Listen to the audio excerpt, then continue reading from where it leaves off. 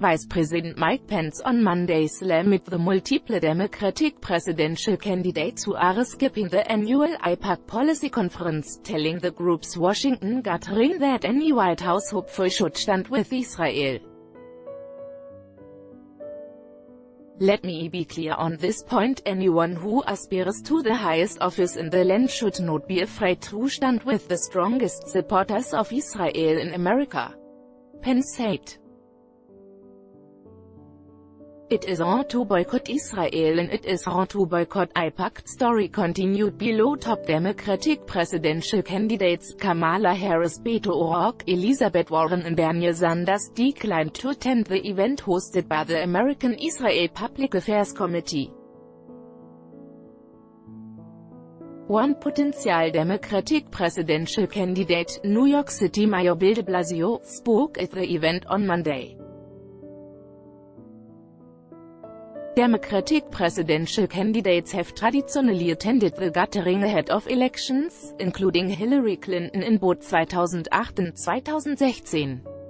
Former President Barack Obama also attended the event during his 2008 campaign.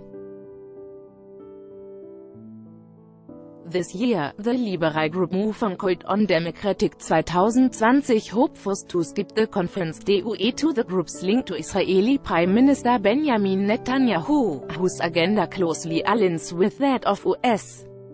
President Donald Trump, and claims that AIPAC has engaged in Islamophobia.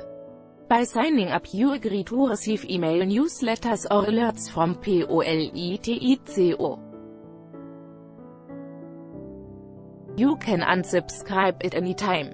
Democrats' absence at AIPAC also comes as liberals have grown increasingly willing to criticize Israel over its relationship with neighboring Palestinians. Despite some critiques of Israel and Netanyahu on the left, top Democratic lawmakers, House Leader Nancy Pelosi and Senate Minority Leader Chuck Schumer are slated to speak at AIPAC. Among the highest profile criticisms of Israel have been those of freshman Rep.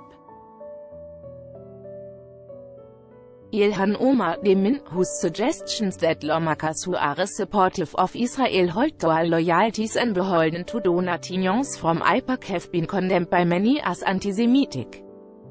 The House has twice passed resolutions condemning antisemitism and hate speech following the controversy surrounding Omar's comments. Omar has apologized for some of her remarks. Although Omar has apologized for some of her remarks and has been rebuked by her party's leaders, Trump, who has at times been reluctant to reject the support of hate groups, has seized on the controversy to claim that Democrats hate Jewish people. Other Republicans have urged Omar's removal from the House Foreign Affairs Committee, a call Pence echoed on Monday.